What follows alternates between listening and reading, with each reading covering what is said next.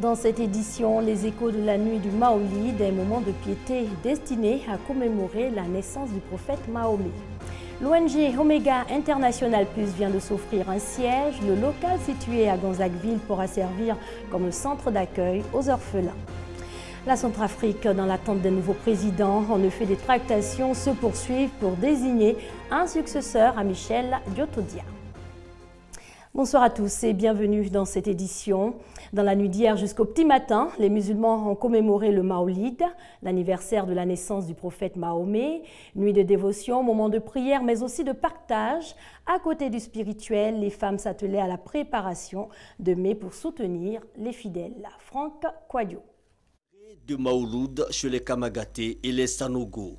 Les femmes concoctent un menu de circonstances, de la salade, des pommes de terre, de la bouillie de mille et du café. Manger et avoir de la force pour suivre les différentes prêches et rester éveillé.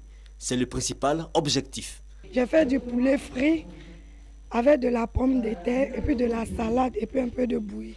Toute cette nourriture, c'est pour le public et pour les fidèles musulmans. En leur donnant à manger, c'est pour mieux suivre la les prêches. La nourriture qu'on fait, c'est pour, donner aux, pour, donner aux gens, pour qu'ils puissent manger. Ça, c'est un signe de bénédiction. C'est pour remercier les gens, le déplacement qu'ils ont fait pour venir. Cette nuit revêt donc un double caractère. La naissance du prophète, symbole de renaissance spirituelle, mais aussi une nuit de mérite. Obtenir donc les mérites et les bénédictions de cette nuit, c'est la volonté de ces femmes musulmanes. Elles pensent donc que le fidèle devrait pouvoir dominer le sommeil des bénédictions et des mérites que les enfants, eux, obtiendront certainement l'année prochaine. Maolid 2014, les musulmans invités à prôner la réconciliation et à s'inspirer de la vie du prophète Mahomet. Les fidèles se sont rendus nombreux dans les mosquées en vue de prier pour le prophète de l'islam, Herman Niamien. La nuit du Maouloud, commémoration de la naissance du prophète Mahomet. Les fidèles musulmans de Yopougon et se sont mobilisés dans la nuit d'hier pour rendre hommage au prophète de l'islam. À cette occasion, les imams ont instruit les fidèles sur l'importance de cette nuit et sur la vie du prophète. Cette célébration permet aux fidèles de mieux comprendre le sens, le vrai sens de l'islam et le vrai sens d'amour. Car le prophète nous a enseigné certaines valeurs à savoir l'amour, le pardon, le partage, la réconciliation. Cette nuit de Maoulid est une nuit de pardon. Quel que soit musulman ou chrétien, on doit se pardonner pour une réconciliation nationale. Le prophète Mahomet, guide spirituel pour la communauté musulmane. La commémoration de sa naissance est donc une bénédiction pour tous les musulmans. Le Maouloud nous parle un peu de sa trajectoire, de sa naissance jusqu'à sa mission accomplie sur terre. C'est vraiment une grande cérémonie dans la communauté musulmane. C'est un grand jour pour nous. à partir de minuit, on commence à prier, on fait zik, on demande pardon à Dieu, que Dieu nous pardonne nos péchés, qu'il nous donne bonheur. En cette célébration de la nuit du Maouloud, les musulmans ont fait des prières en faveur de la paix et de la réconciliation nationale. Alors, nuit de prière et d'adoration hier, le Maolid est un moment important pour la communauté musulmane. Dans les communes de Trècheville, Koumassi et Marcory, les fidèles ont répondu présent à la sainte convocation. Le reportage de Doigt des Lasers grande mosquée de Koumassi. Toutes les rues sont barrées. Les fidèles musulmans ont pris d'assaut les artères de la mosquée pour écouter la bonne nouvelle, la naissance de Muhammad, le prophète de l'islam. Occasion pour les guides religieux d'implorer le pardon et la miséricorde divine. Nous venons cette nuit très sacrée et très bénie pour exhorter les gens ainsi que nous-mêmes à avoir la crainte d'Allah subhanahu wa ta'ala, un prophète qui a trop aimé la paix. Surtout notre pays où nous sommes là aujourd'hui, nous souhaitons la paix et que la paix règne entre nous. Ce rendez-vous annuel est aussi respecté à la grande mosquée de Makori, Ramblay. Fidèles et guides religieux musulmans veillent dans la prière pour dire merci au prophète Mohammed pour ses bienfaits en faveur de la communauté islamique. Selon l'imam Amidou Kone, cette commémoration est aussi un moment indiqué pour faire connaître la biographie de l'envoyé de Dieu. De commémorer son anniversaire pour son amour et pour l'amour de Dieu et enseigner les gens qui est Mohamed? Pourquoi Mohamed? Afin qu'on puisse le connaître réellement. Parce qu'il y a beaucoup de musulmans aujourd'hui, ils ne connaissent pas réellement l'histoire réelle même du prophète Mohammed sallallahu alayhi wa sallam. De Kumbasi à Trècheville, en passant par Makori, les musulmans sont sortis massivement pour exprimer leur fidélité au prophète Mohammed pour ses actions en faveur de l'islam. Autre chose à présent, l'ONG Omega International Plus vient de s'offrir un siège, un local situé à Gonzagueville. Particularité de ce siège, il pourra servir comme centre d'accueil aux orphelins ou aux personnes en difficulté, en attendant la construction d'un véritable centre d'accueil. Michel Mambo. Des enfants qui passent la nuit à la belle étoile. La scène paraît de plus en plus anodine. Toutefois, certaines âmes sensibles s'en offusquent.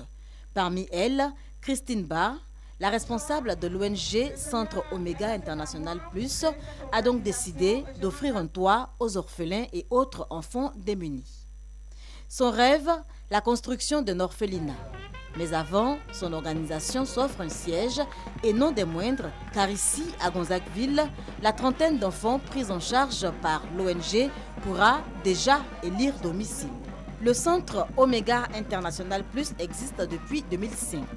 À son actif, la scolarisation d'orphelins et d'enfants démunis, le financement de micro-projets, l'alphabétisation et l'insertion socio-professionnelle de jeunes filles déscolarisées.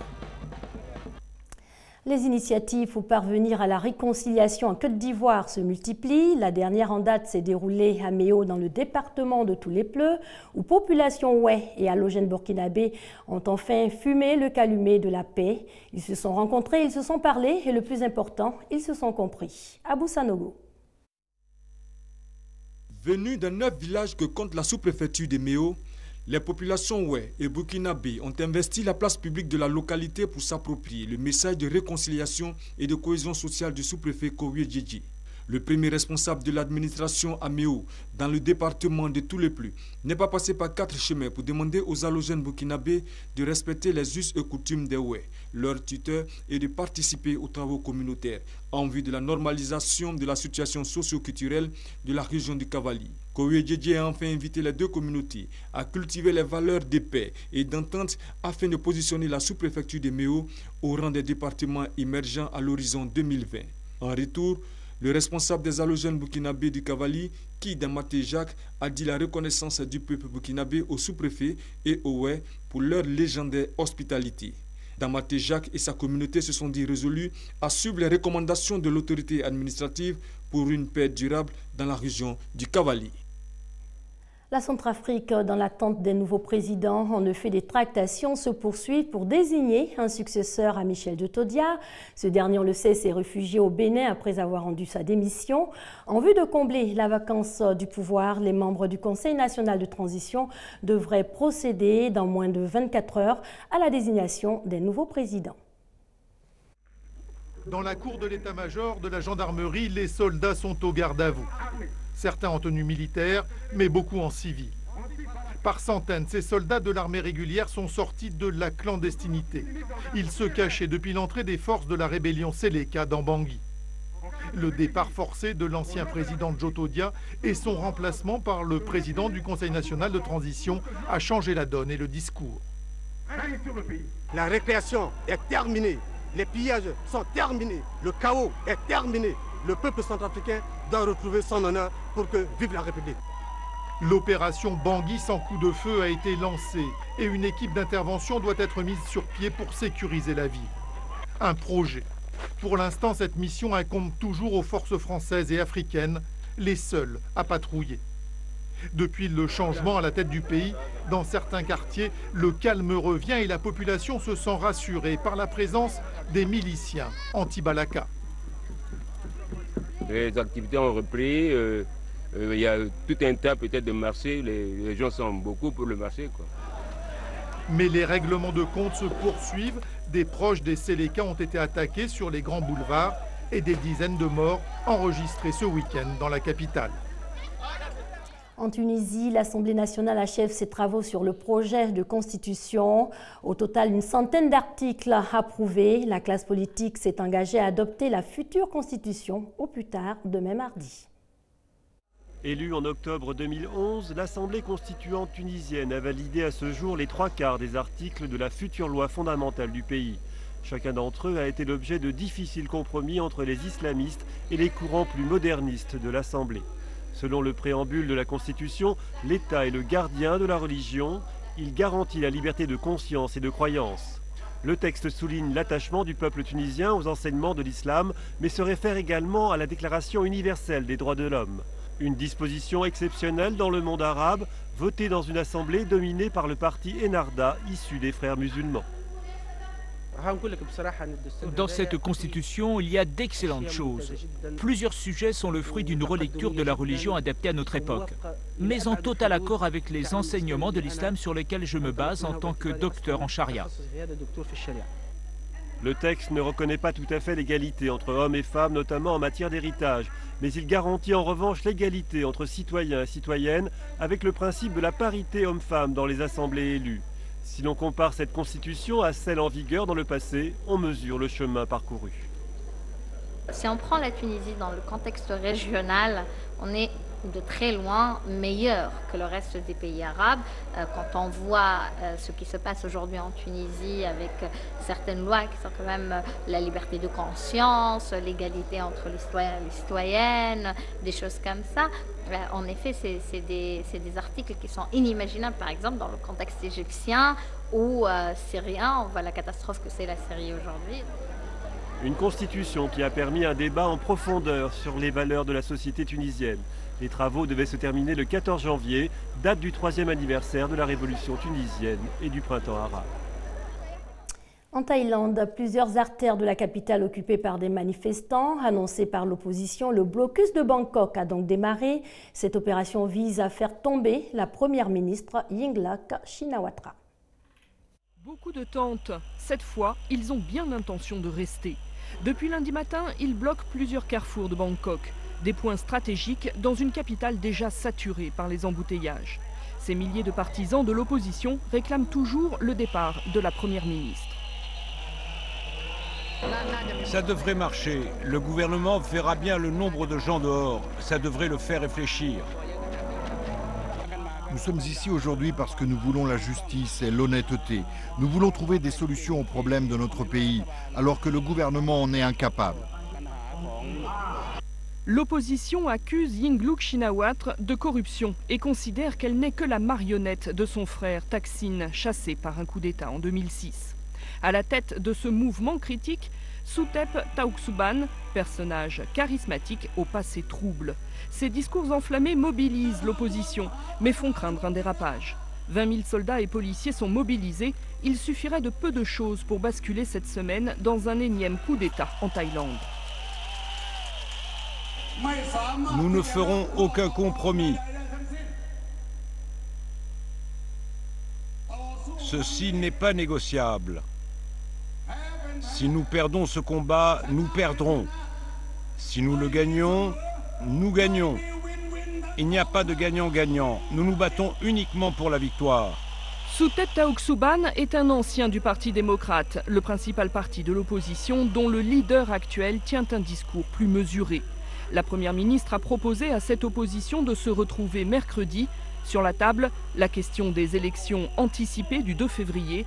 En attendant ce rendez-vous, les habitants de Bangkok restent sur leur garde. Funérailles militaires aujourd'hui pour le général Sharon. L'ex-premier ministre israélien a été inhumé cet après-midi dans sa ferme non loin de la frontière avec la bande de Gaza. Hommage de l'État hébreu à l'ancien chef de guerre et Premier ministre israélien Ariel Sharon, décédé samedi après huit ans de coma. La cérémonie s'est déroulée sur l'esplanade de la Knesset à Jérusalem, en présence d'un petit nombre de hauts responsables internationaux. Un homme complexe qui a vécu à une époque complexe, dans un environnement complexe, a résumé le vice-président américain pour évoquer cette figure controversée, tandis que le président israélien Pérez et son premier ministre Netanyahou rendaient hommage aux combattants. En bref, pour terminer, le Ballon d'Or 2013 est connu. Il s'agit du Portugais Cristiano Ronaldo. Avec 67 buts marqués en 2013, l'attaquant du Real de Madrid, déjà sacré en 2008, faisait figure de grand favori. Deux autres joueurs étaient en lice, le Français Franck Ribéry, l'Argentin Lionel Messi. Le Ballon d'Or est une récompense décernée par la Fédération internationale de football, FIFA. C'est ici que l'on s'arrête pour cette édition. Merci à vous de l'avoir suivi. Excellente suite de programmes sur les antennes de la RTI, la marque du service public.